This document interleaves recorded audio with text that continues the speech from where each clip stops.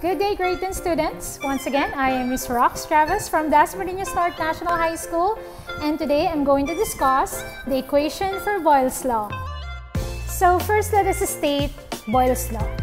Boyle's Law states that the volume of a confined gas is inversely proportional to its pressure given that the temperature is constant. So to put this law in an equation, we will be using symbols. So first we will be writing V to represent volume and P to represent pressure. K stands for constant and for Boyle's law, temperature is constant.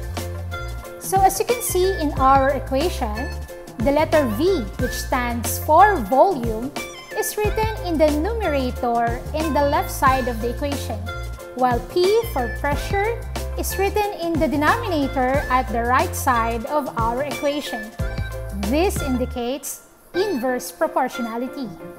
Now, when we cross multiply volume and pressure, we'll have V times P equals to K, which is our constant. What does this mean? If a gas is brought into two different conditions, the product of its volume and its pressure is always going to be constant. Therefore, initial volume times initial pressure is equal to final volume times final pressure. Now, to put these things into a mathematical expression, we will use 1 to indicate initial and 2 to indicate final.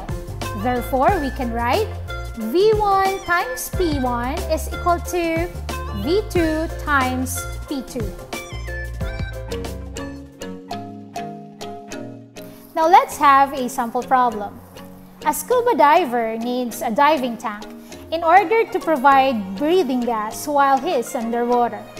How much pressure is needed for 6 liters of gas at 1 atmospheric pressure to be compressed in a 3-liter cylinder? Before we solve this problem, let us first identify our given. So first we have 6 liters of gas. And this is going to be our initial volume and therefore we will call it V1. Next is our 1 atmospheric pressure which is our initial pressure and therefore we will indicate this as P1.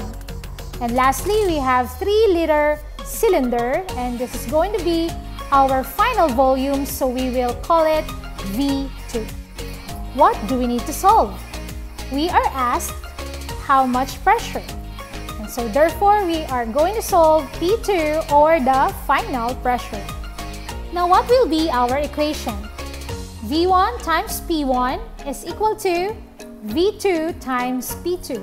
Substituting our given values to this equation, we'll have 6 liters times 1 atmosphere is equal to 3 liters times the unknown, which is P2. Now, we will be dividing both sides 3 liters for us to be able to solve for our unknown.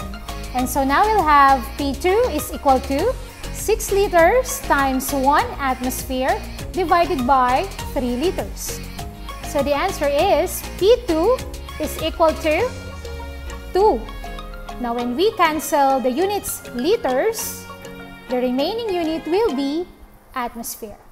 So the final answer will be P2 or final pressure is equal to 2 atmosphere. This only means that when a certain volume of gas is placed into a container with lesser volume, this gas will be compressed. And so therefore, we expect that the pressure that will be exerted by the molecules of this gas will increase. So this only proves the Boyle's law which states that the volume of a confined gas is inversely proportional to its pressure given that the temperature is constant. So when the volume increases, its pressure decreases. And on the other hand, when the volume decreases, its pressure will increase.